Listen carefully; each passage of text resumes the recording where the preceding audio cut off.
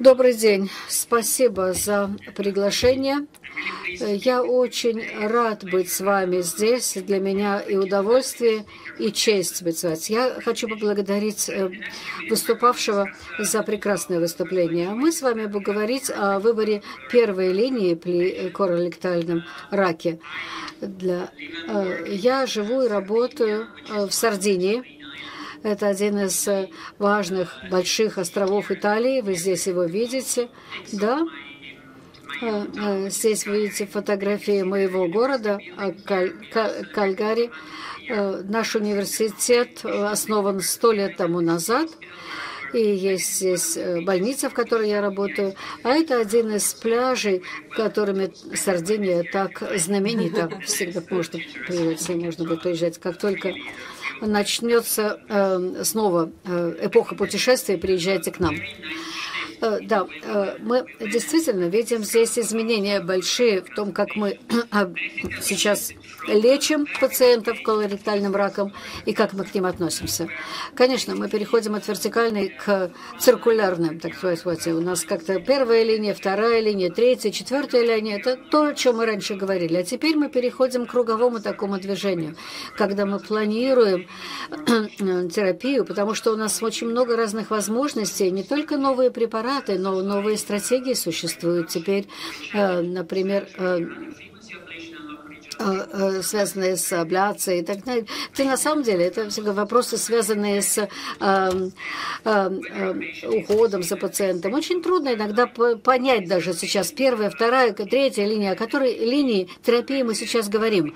Потому что мы даже не можем сказать, что э, пациент конкретно получаем. Потому что действительно это не вертикальная система больше, а, вер... а, а система круговая. И, э, конечно, есть сложные аспекты в этом, потому что у нас очень много возможностей, и не всегда легко планировать стратегию. Но в конечном итоге мы э, видим здесь преимущество такой системы, особенно это хорошо э, отражается на уровне выживаемости. Конечно, э, надо принимать решения. Э, у нас есть выбор первой линии мы учитываем клинические биологические факторы для того, чтобы понять, что делать для пациента. Планируем стратегию, выбираем первую стратегию для наших пациентов. И я думаю, что было бы интересно, наверное, э, проверить нашу стратегию, э, э, используя примеры конкретные, примеры клинической практики. И вот здесь у нас есть учитель, которому 58 лет, и мы э, э, э, видим вот его история, да, 58 лет, мужчина, э, э, э, рака раньше не был, но есть сопутствующие заболевания, например, диабет, но контролируемый. Э, и э, вы видите здесь его историю так сказать, видите, что э, в сентябре 2014 года у него было ректальное кровотечение, э, боль в животе, э, диарея, затем запоры, и, видите, это с левой стороны все наблюдалось, и затем его вели затем вышел на вторую фазу колоректального э, рака. Но он чувствовал себя вполне прилично до марта 2017 года. А затем э, э, к сожалению, выявлены метастазы в печени, и вы видите это на этом слайде, и также оказались пораженными лимфатические узлы. И э, э, э, надо думать было -то именно тогда, какое лечение ему предложить. Надо сказать, что, конечно, мы э, выбираем э, э, препараты и подходы первой линии, и об этом уже речь шла. Сегодня, видите, это слайд из руководства ЭСМО. Мы, конечно, полагаемся на их рекомендации мы должны э, учитывать и э, э, саму опухоль, мы должны учитывать и клинические возможности, но учитывать и состояние самого пациента, сопутствующие заболевания, например.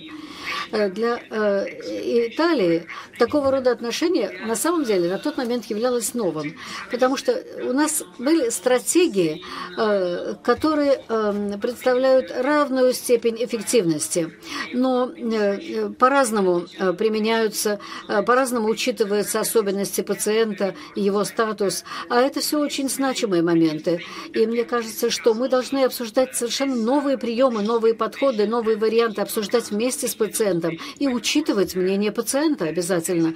Безусловно, в, есть определенная эквивалентность в, в, в обсуждении тех вариантов, которые мы предлагаем. Да, и, и Э, э, вот эта опухолевая нагрузка очень важна. Здесь даже учитывать биологические аспекты тоже важны. Мы уже слышали замечательную презентацию о вопросах э, биологии. Да? В конечном итоге, я думаю, что цель нашего лечения какова? Мы должны понять, вообще можем мы вылечить пациента или нет, или мы можем предложить только паллиативный уход.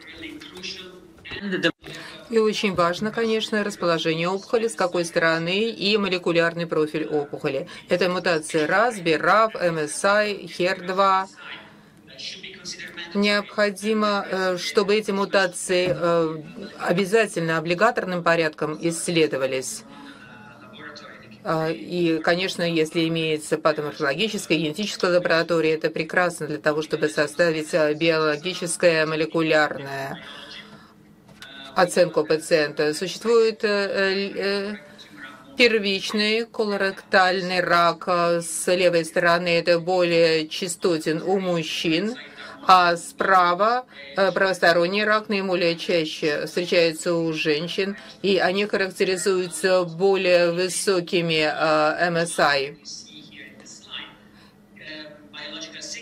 Биологические сигнатуры очень часто присутствуют и частотно представлены справа, при правосторонней локализации по сравнению с левосторонней. И нам необходимо допустить, что не существует специфических сигнатур, которые могли бы нам показать, что это действительно а, правосторонняя локализация и левосторонняя локализация. В основном все-таки это такой э, непрерывный пассаж репрезентации, нет специфических сигнатур, или молекулярно-биологических изменений, которые типичны были бы для правосторонней и левосторонней локализации. Конечно же, размер опухоли является прогностическим фактором в случае колоректального рака. Что же касается предикативной роли расположения опухоли, у нас имеются прекрасные данные. Это фаза третья, рандомизированное большое исследование, которое исследованию комбинационную терапию, берацизумаб, циксидумаб, которые исследовали и иммунотерапию, это химиотерапия плюс иммунотерапия. И данные показывают совершенно четко, что пациенты а, с типом РАС, левосторонним расположением рака, а, лучший прогноз, когда они лечатся с схемой комбинационной химиотерапии, анти-EGF, антитела. Три года назад э, были сделаны исследования, показаны четко, четкие преимущества пациентов, страдающих левосторонним раком, а если они э, лечатся с химиотерапией и EGFR э, антителами. Это шесть рандомизированных исследований показали это. А но, во всяком случае, существует четкое показание, хорошие показания у пациентов, с, если, если вот так проводится пероцизумаб плюс э, э, химиотерапия. химиотерапия. Также здесь анализируются в рамках данного клинического исследования такие же а, данные, и тоже решение было принято. Давайте посмотрим еще один клинический случай. Этот пациент, 58 лет, учитель, в хорошем состоянии, незначительное количество сопутствующих заболеваний, которые контролируются. И что же вы думаете? Какие биологические факторы нам нужны для того, чтобы планировать стратегию этого пациента? Ну, это такой момент голосования. Думаете, нам нужно KRAS, NRAS, KRAS, NRAS, BRAF, KRAS, NRAS, BRAF, MSI, KRAS, NRAS, BRAF, MSI, HER2 или или все другие, плюс еще какие-нибудь.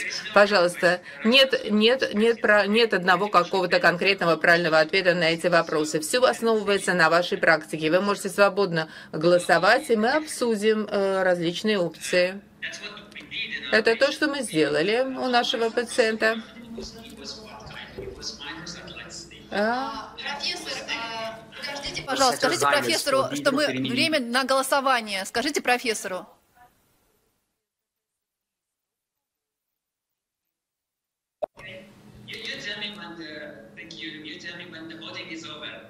А дайте мне знать, когда голосование закончено, и мы продолжим.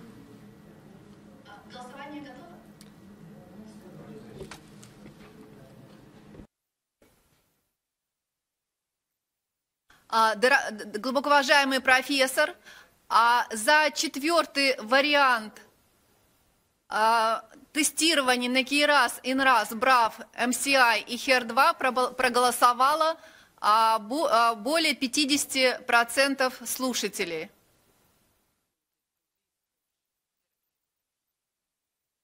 Okay. Very good. I mean, uh, uh... Хорошо. Как вы видите на слайде, я тоже выбрала эту опцию.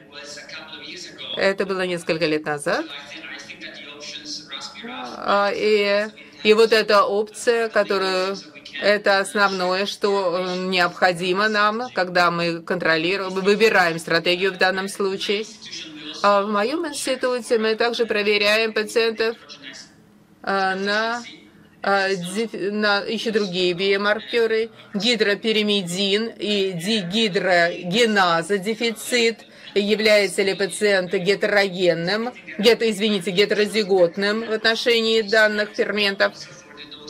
И также нам это нужно исследование для того, чтобы выбрать правильную дозу. Если тест возможен, то вы то вы, может быть, вы выберете дозу 5 фторурацила основе и снизить токсичность можете, если вы определите гетерозиготный статус для вот этих вот ферментов.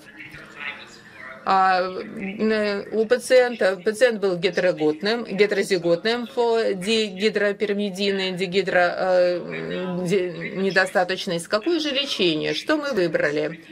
А, прежде всего, что нужно для данного пациента? Это может быть комбинационная терапия, какие опции у нас имеются, поскольку необходимо принимать во внимание, что это левосторонняя опухоль, раз положительная, может быть метастатический рак, и, конечно же, Э, в Италии и в России, э, в Соединенных Штатах. А, мы также дополняем это с помощью КАТы. И вот какие же первые, леч... первое лечение первой линии. Фолфокс, фолфири, фолфокс, фолфири плюс панитумумаб – а, или, например, третий вариант Folfox, Folfiri, Bivacizumab, Folfox Iri, Bivacizumab. Выберите опцию. Какую?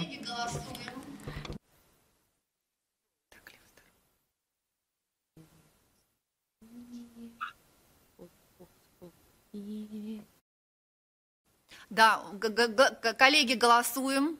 Четыре варианта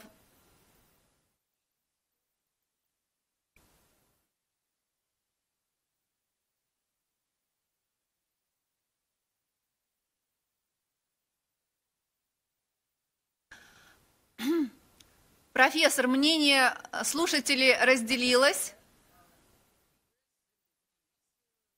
А за Фолфокс, Фолфири с бевацизумабом проголосовало 40%, за комбинацию с панитумумабом 27%, и за комбинацию с цитоксимабом проголосовало 25%. Uh, uh, Конечно же, в этом случае нет правильного, какого-то одного правильного ответа. Все зависит от стратегии, которую вы используете в вашем конкретном центре. Я бы не использовал а, э, комбинации а, с бевацизумаба, потому что у пациента раз, раз дикий тип и плюс опухоль левостороннее расположение. Существуют четкие показания использовать комбинацию а анти-GFF а, препаратами нужно использовать. В нашем центре у нас имеется возможность использовать схемы с панитумумабом и цитуксимабом, но сейчас 80% случаев и метаанализы показывают, что, что мы очень привыкли использовать схему с цитуксимабом. Фолфокс плюс цитуксимаб для этого пациента левосторонний, дикий тип а, и в очень хорошем физическом состоянии. Давайте посмотрим. Мы оценили ответ через два месяца. Опухоль уменьшилась в размерах 36%, э, показано на слайде. А на четвертый месяце терапии еще раз ответ – Ответ продолжается на лечение. А затем мы достигли стабильного состояния заболевания 6, 8, 10 месяц. С 6 месяца назначена была цетуксимаб с э, вторперимедином. А мы пытаемся использовать вот эту комбинацию вторперимедином.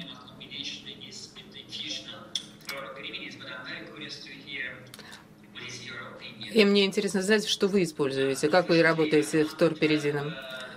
Но, к сожалению, на пациента, пациент случилось прогрессирование, 12 месяцев, множественные метастазы в легкие. А, и еще раз вот резюмирование э, данного, э, данного пациента. Первая линия Эрбитукс Фолфокс, частичная э, ремиссия была достигнута.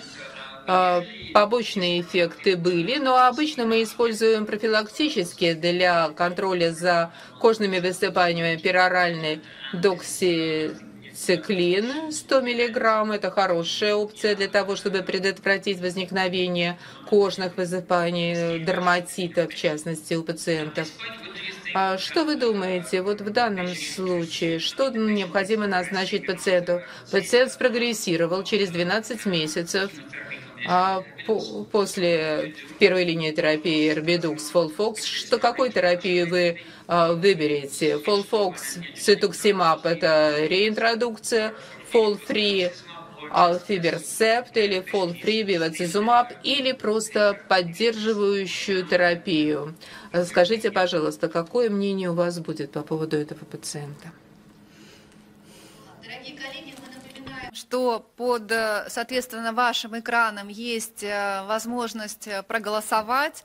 Предлагается четыре опции. Это реиндукция возвращения комбинации фолфокса с цитуксимабом, возможно назначение фолфириса флиберцептом – а фолфири с бивацизумабом или же какая-то другая опция по выбору врача или же э, ну, любой, любой другой подход, который в данной ситуации возможен. Пожалуйста, голосуйте, ваше мнение важно и, и нам, и профессору для того, чтобы понять а, те реалии, в которых а, живем мы, и, соответственно, знания а, ситуации и возможности лечения. Пожалуйста.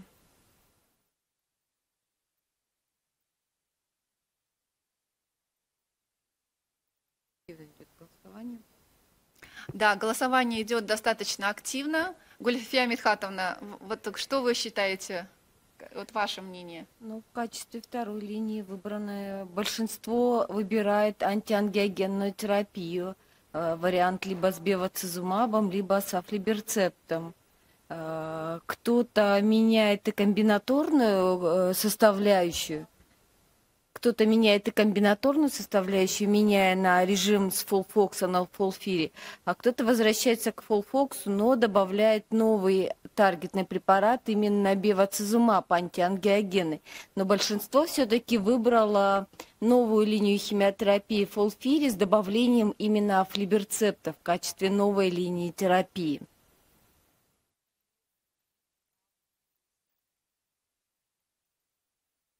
Thank you. Uh, I mean, uh, I think that the choice to shift uh,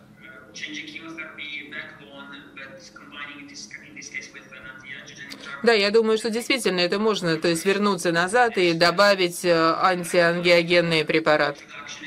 А во время реинтродукции э, а пациент не спрогрессировал на фолфоксе, он спрогрессировал на поддерживающей терапии. Поэтому, если мы помним, пациент в самом начале у него не было метастазов, а сейчас у него метастазы в легкие. А поэтому, поэтому мне не очень нравится, конечно, вот эта реинтродукция. Я бы переключился на комбинацию химиотерапии с антиангиногенным препаратом. А, и вот эта комбинация цитуксимаба, затем мы назначаем афлиберцепт, это хорошая комбинация и хороший ответ у пациентов. И мой выбор это использовать фолфири алфибецепт. А, а у нас есть исследования, которые показывают, а, а групповой анализ предполагают, что что э, какая же правильная схема назначения, последовательность назначения препаратов. И я хочу показать вам результаты вот этого подгрупповой анализ Эльзы Фолфая 3, когда пациенты использовали вот эти схемы лечения. Большинство пациентов э, лечились антиангиогенными препаратами, но с другой стороны, если фулфири, первая линия фулфири плюс с э, тузимаб или затем уже переключение на другие ангиогенные препараты, добавление ангиогенных препаратов.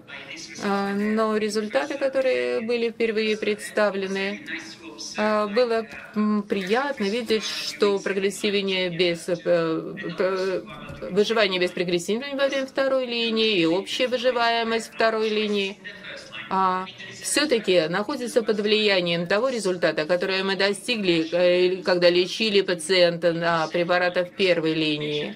Пациенты с левосторонними первичными опухолями, которые принимали вот эта желтая линия цитоксимаб, и затем э, и бевацизумаб их переключали на ангиогенные препараты плюс химиотерапия, а, они продемонстрировали наилучшие результаты в рамках прогрессирования, э, выживания без прогрессирования и общая выживаемость. Также мы провели метод-анализ для того, чтобы суммировать вот эти все результаты, для того, чтобы сравнить различные лечи... э, схемы лечения. И я знаю, что это, конечно, это не на самом высоком уровне доказательной медицины, но все-таки хороший уровень доказательности. Здесь мы как... У нас прекрасная последовательность для левостороннего. Это а, анти э, анти-VEGF э, препараты хорошо здесь работают. И также давайте обсудим еще одного пациента. Второй пациент, 61 год, пожилая дама, э, страдает гипертонией, диабет первого типа, но контролируемый. А, у нее положительный тест на скрытую кровь. А, первичная опухоль локализирована в правой стороне толстого кишечника, но, к сожалению, множество метастазов в печень, биомаркеры, которые экспрессировались, РАС, БРАФ, это э, дикий, та, дикий тип, HER2 негативный, но хороший физический статус, и КОК-0. И МРТ показал, продемонстрировал, э, насколько печень вовлечена в этот онкологический процесс. То есть на основе всех этих соображений, которые мы обычно э, используем, когда мы выбираем наилучший вариант и стратегию. Э, что это? Хирургическое вмешательство э, или другие приемы? первой линии, да, или какие конкретные препараты использовать, да, Фолфокс, использовать триплеты, например, с этоксимабом и э, панитумабом. Как вы думаете, что нужно избрать здесь? Пожалуйста, ответьте на этот вопрос касательно этого пациента.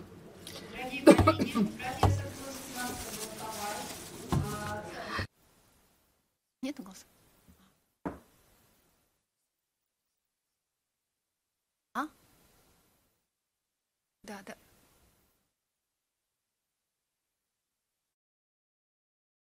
А, профессор, мы продолжаем презентацию.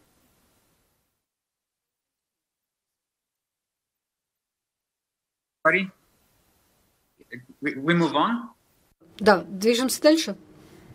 Надо ему сказать, он э, слушает. Я ему говорила. Что?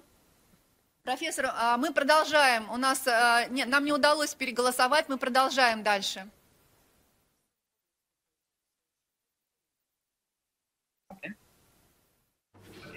Да, хорошо, спасибо.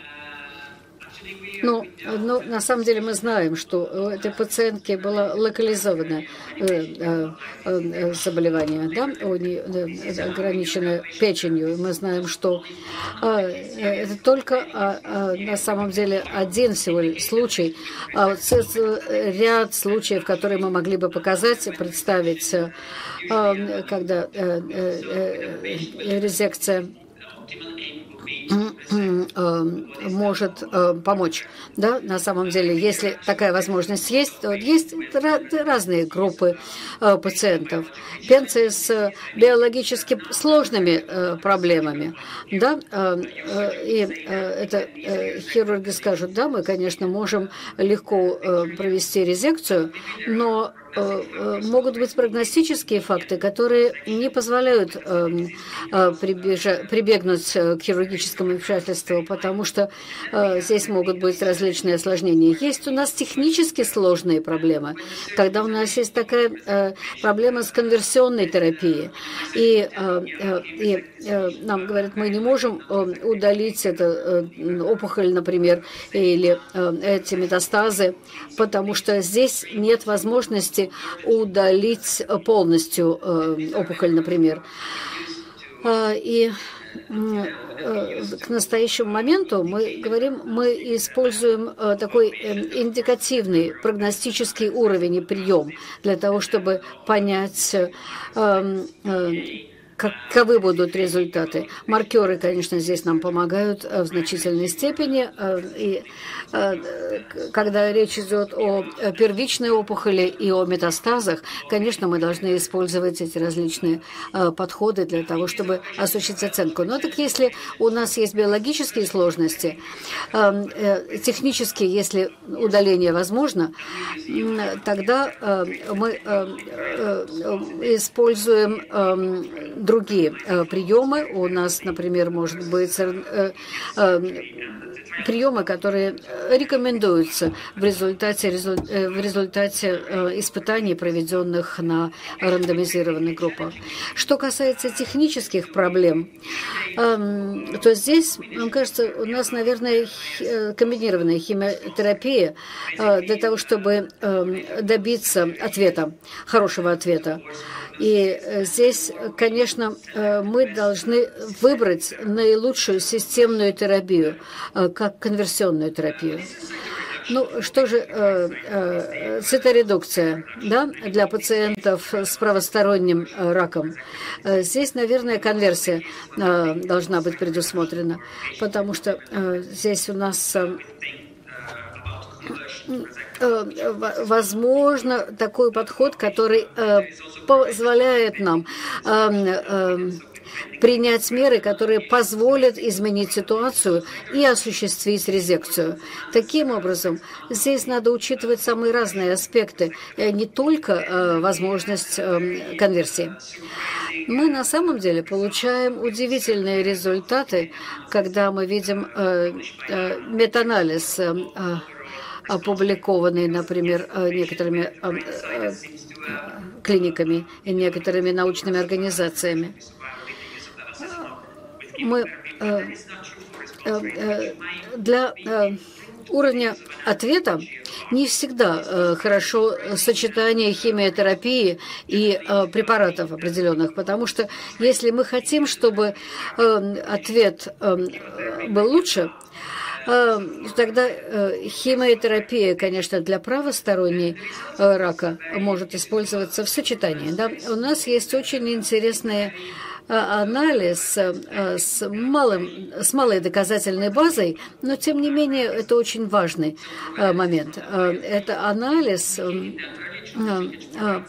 по фазе 3. И это исследование э, ФАЭ-3. Здесь у нас пациенты получают цитоксимаб, как вы видите, и бевацизунаб, и мы наблюдаем улучшение уровня выживаемости. Мы можем использовать цитоксимаб с химиотерапией для правостороннего рака, если цель состоит в получении ответа. Но надо быть более осторожными при оценке ответа, потому что здесь мы должны проверку осуществлять ранее, для того, чтобы понять, есть ли ответ вообще. Потому что если ответа нет, то, наверное, нужно изменить э, химиотерапию и применить другие препараты. Так какова же оптимальная стратегия для этой пациентки, о которой мы уже говорили? Мы говорили, что э, э, э, здесь, здесь слишком массивная нагрузка опухолевая на печень, и, скорее всего, хирургическое вмешательство не поможет здесь. И, мы Э, должны открыть э, терапевтическое окно, так сказать, для этой женщины и э, сочетать цитотоксины с, химиотерапией. МРТ нам это показывает, да, и мы видим здесь, мы видим здесь очень хороший ответ в печени. Так что эта пациентка на самом деле имеет Э, хорошие результаты, э, длительная ремиссия наблюдается, и возникает вопрос, э, что нужно делать сейчас? Просто поддерживающую терапию использовать или продолжать использование препаратов? Я думаю, что можно сейчас пойти дальше, потому что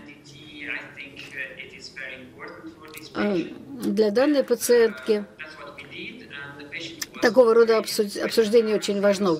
Принятие анализа, э, принятие решения очень важно для этой пациентки. У нас есть да, разные варианты. Можно, конечно, продолжать э, ее лечение цитоксимабом. Можно, например, различные циклы предложить, 6 циклов дополнительных цитоксимаба или фолфокс, только фолфокс, тоже 6 циклов, и продолжать наблюдение за ней.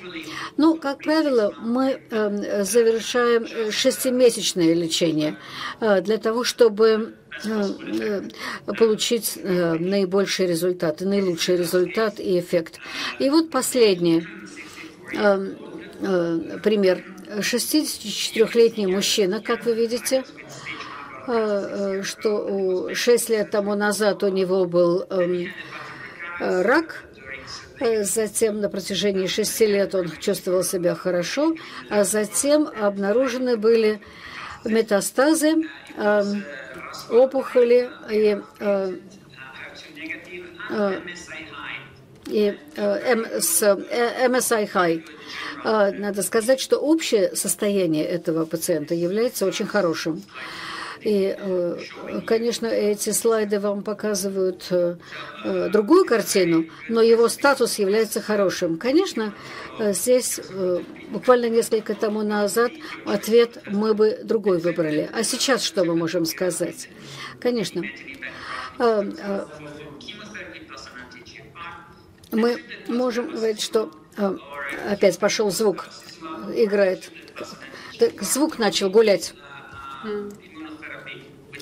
что, может быть, иммунотерапию мы можем ему предложить. И на самом деле, конечно, это все вопросы очень важные, потому что э, MSI high пациент э, и в первой линии иммунотерапия э, не регистрируется сейчас в Италии. На первой линии мы не можем ее применять. И я думаю, что все видели, конечно, очень интересную презентацию по Keynote и э, для пациентов MSI high. Э, э, как можно использовать стандартную химиотерапию, чем ее можно дополнить. И я считаю, что здесь э, должны быть изменения в том, как мы лечим этих пациентов на первой линии. И я бы так сказал, что я бы пембролизумаб стал использовать на первой линии. А затем у нас есть исследования, которые говорят о том, что эффект дуплета может оказаться весьма позитивным. Здесь, конечно, есть улучшение по сравнению с контрольной группой и биологический дуплет или триплет э, – это может быть э, оптимальным решением. Но в данной ситуации э, исследование касалось второй линии. Поэтому, с моей точки зрения, иммунотерапия на первой линии для этого пациента и затем биологический триплет – это то сейчас, что мы можем применять на практике. Таким образом, мы наблюдаем, что сейчас Э, э, мы переходим от вертикали к круговому движению, что на самом деле сложности определенные представляет, э, потому что здесь вовлекаются разные моменты лечения на различных этапах, многое совпадать начинает, но тем не менее это приводит к улучшению Эм, эм, выживания, качеству жизни и так далее. Это более сложный подход, безусловно, но это подход, который дает больше нашим пациентам. И я думаю, что ключом к Эм, э, оптимальной стратегией является работа мультидисциплинарной команды. На нашей практике, в нашей практике это, конечно, трудно достижимо. Мы, конечно, хотели бы иметь возможность э, выбирать наилучших специалистов и наилучшие стратегии. Спасибо за внимание.